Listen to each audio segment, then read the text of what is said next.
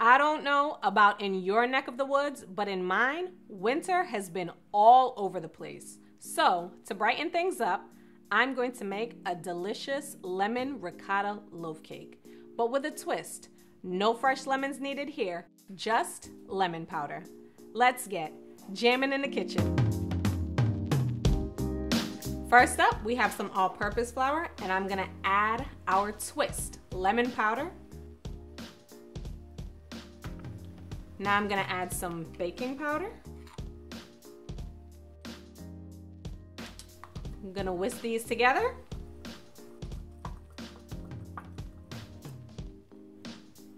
Now that our dry ingredients are nice and combined, we're gonna just set these to the side. Up now are wet ingredients. First, I'm gonna add some ricotta cheese. You may be wondering why I chose to use ricotta cheese. It adds a wonderful flavor and moisture to our lemon loaf cake. Next up is some granulated sugar.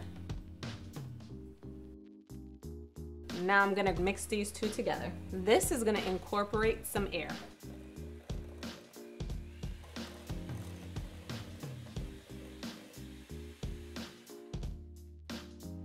Up next is our eggs.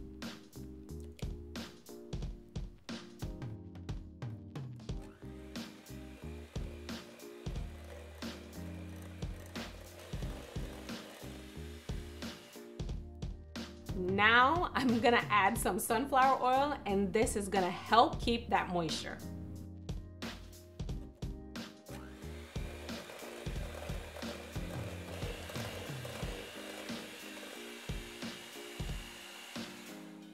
I'm gonna go grab our dry ingredients and start combining the two together.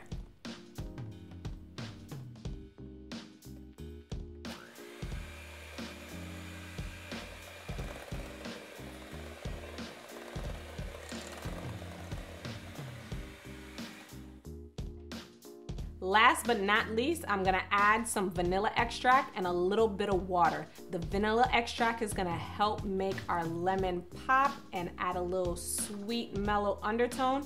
And our water is just gonna give it a little extra liquid to get our batter to be the right consistency.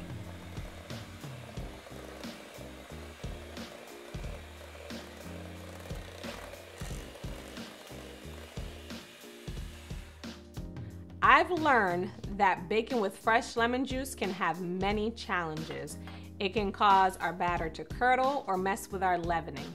And the reason behind that is is because we never know how sweet, tart, or acidic that lemon is going to be. So that's why I've settled on lemon powder is because we want the perfect batter every time. I already have my oven preheated to 350 degrees. Let's get this in there. To me, a lemon ricotta loaf cake is not complete without a puckering glaze on top. We're gonna add our lemon powder to our powdered sugar. Add a little bit of water at a time. So this glaze can be as thick or as thin as you like it. I prefer my glaze on the thinner side instead of a thicker like icing type. But again, personal choice. Feel free to tweak, play around with the recipe. As you can see, our glaze has a few lumps. So to help us get rid of those, I'm just gonna go pop this in the microwave for approximately 30 seconds and I'll be right back.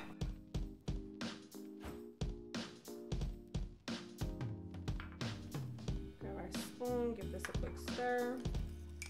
All right, to me, our glaze is the perfect consistency. So we're gonna just add this to our lemon loaf once it's out the oven. Our loaf cake smells Amazing. Let's pop this out of our loaf pan and get it on our cooling rack. Just gonna run my knife along the sides.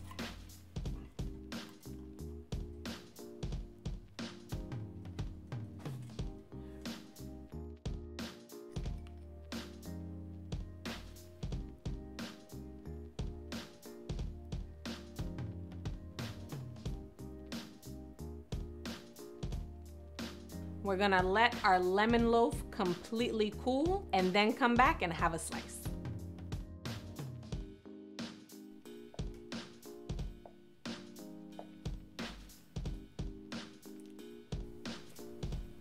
Look at the inside. Look at this beautiful texture. It's nice and moist. That lemon smell is amazing. Now let's go in for a taste test.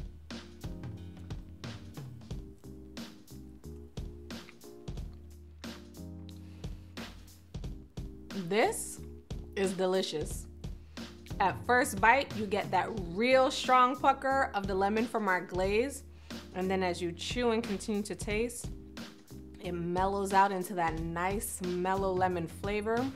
It's so moist from our ricotta and the ricotta also adds a nice texture and flavor to it. I can't wait for you guys to go experiment in your kitchen and tweak to your heart's content or even just go experiment with something else.